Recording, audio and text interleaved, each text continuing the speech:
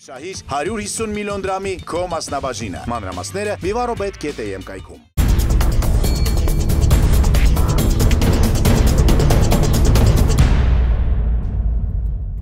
Խորագրի առաջին հերոսը օրինաց երկիր կուսակցության նախագահ մասնագիտությամբ իրավաբան, իրավագիտության պրոֆեսոր Արթուր Բաղդասարյանն է։ Արդուր Վահանի Բաղդասարյան քաղաքական գործունեությունը սկսել է 1995 թվականից, ընտրվելով Հայաստանի ազգային ժողովի առաջին գումարման պատգամավոր։ 1997 թվականից հիմնադրել է Օրինաց երկիր կուսակցությունը եւ 1998 թվականին տեղի ունեցած կուսակցության Անդրանիկ համագումարում ընտրվել է կուսակցության նախագահ։ 2003 թվականի հունիսի 12-ին ընտրվել է Հայաստանի ազգային ժողովի նախագահ, պաշտոնավարելով մինչև 2006 թվականը։ 2007 թվականի նոեմբերին օրինաց երկիր կուսակցության համագումարում առաջադրվել է Հայաստանի Հանրապետության նախագահի թեկնածու, իսկ 2008 թվականի փետրվարի 19-ին կայացած նախագահական ընտրություններում զբաղեցնելով երրորդ տեղը նույն թվականի մայիսի 4-ին Հայաստանի նախագահ Սերժ Սարգսյանի հրամանագրով նշանակվել է Հայաստանի ազգային անվտանգության խորհրդի քարտուղար։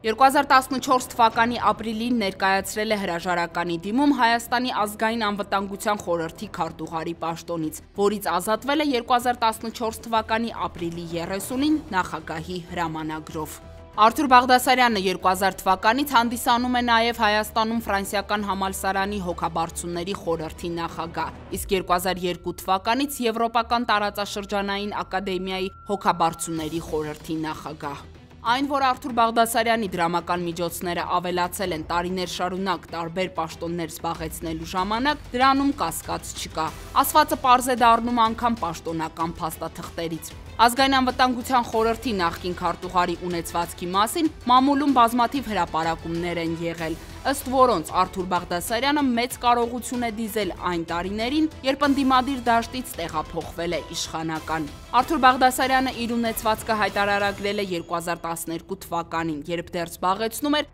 ազգային անվտանգության խորհրդի քարտուղարի պաշտոնը։ Համաձայն իր ներկայացրած հայտարարագրերի Բաղդասարյանը ունի 215 քառակուսի մետր զբաղեցնող համատեղ սեփականություն հանդիսացող բնակարան Երևանի Բայրոնի փողոցում, որտեղ գրանցված են ինքը եւ ընտանիքի անդամները։ Ինչպես նաեւ հայտարարագրված է նույն հասցեի 34.8 քառակուսի մետր տարածքով ավտոտնակը։ Ըստ հայտարարագրի նա ավտոմեքենա չունի։ 2013 թվականին Բաղդասարյանի դրամական միջոցները ավելացել են, դառնալով 25.5 միլիոն դրամ, 20000 դոլար։ Փոխարենը աշխատավարձի չափն է նվազել։ Նույն տարում նա որպես եկամուտ հայտարարագրել է 304000 դրամ աշխատավարձը եւ 8 միլիոն դրամի չափով ստացած այլ եկամուտը։ 2016-2017 թվականների հաշվետու ժամանակաշրջանում օրինաց երկիր կուսակցության ղեկավարը եկամուտ է ստացել Եվրոպական կրթական տարածաշրջանային ակադեմիայից 4.8 միլիոն դրամի չափով,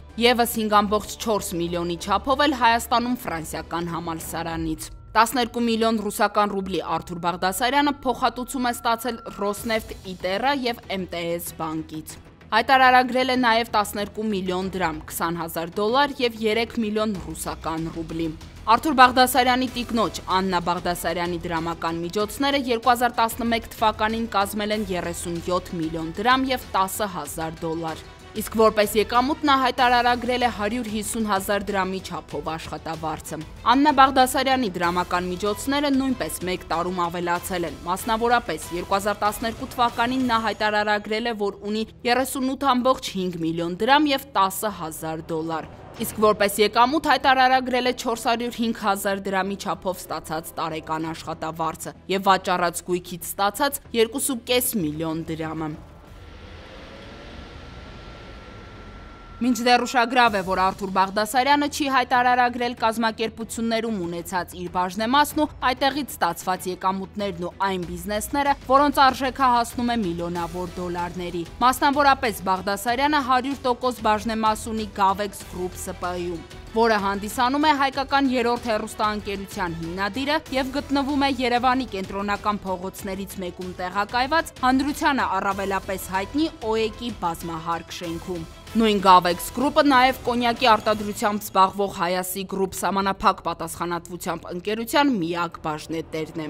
Այս ամենը փաստում են պաշտոնական փաստաթղթերը, իսկ մամուլում արկա հրապարակումների համաձայն Արթուր Բաղդասարյանը վերջին տարիներին քարի մշակման արտադրամաս է կառուցել, որը գտնվում է Կոտայքի մարզի Արամուս գյուղում։ Իսկ Արթուր Բաղդասարյանի հորը Վահան Բաղդասարյանին է պատկանում ջրվեժում գտնվող Վան ռեստորանային համալիրը։ 2018 թվականի հոկտեմբեր-նոեմբեր ամիսներին օրինաց երկիր կուսակցությունը դեկտեմբերի 9-ին Հայաստանում տեղի ունեցած խորհրդարանական արտահերտ ընտրություններին մասնակցության հայտ էր ներկայացրել։ Նախընտրական ցուցակը գլխավորում էր Արթուր Բաղդասարյանը։ Կենտրոնական ընտրական հանձնաժողով ներկայացրած նրա հայտարարագրում նշված էր. Երևանի Բայրոնի 3 հասցեում տեղակայված համասեփականությամբ բնակարանը, նույն հասցեում գտնվող համասեփականությամբ ավտոտնակը, իսկ որպես եկա եկամուտ 5 միլիոն դրամ փոխհատուցում Եվրոպական համալսարանից, 5 միլիոն դրամ փոխհատուցում Հայաստանում ֆրանսիական համալսարանից։ Իդեպ նշենք նաև, որ 2018 թվականի դեկտեմբերի 15-ին Արթուր Բաղդասարյանը հայտարարեց, որ հեռանում է